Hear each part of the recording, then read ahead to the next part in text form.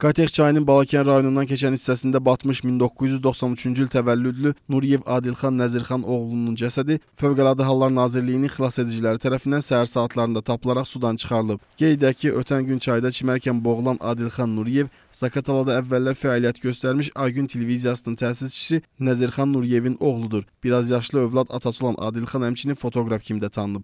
Hazırda fakt araşdırılır.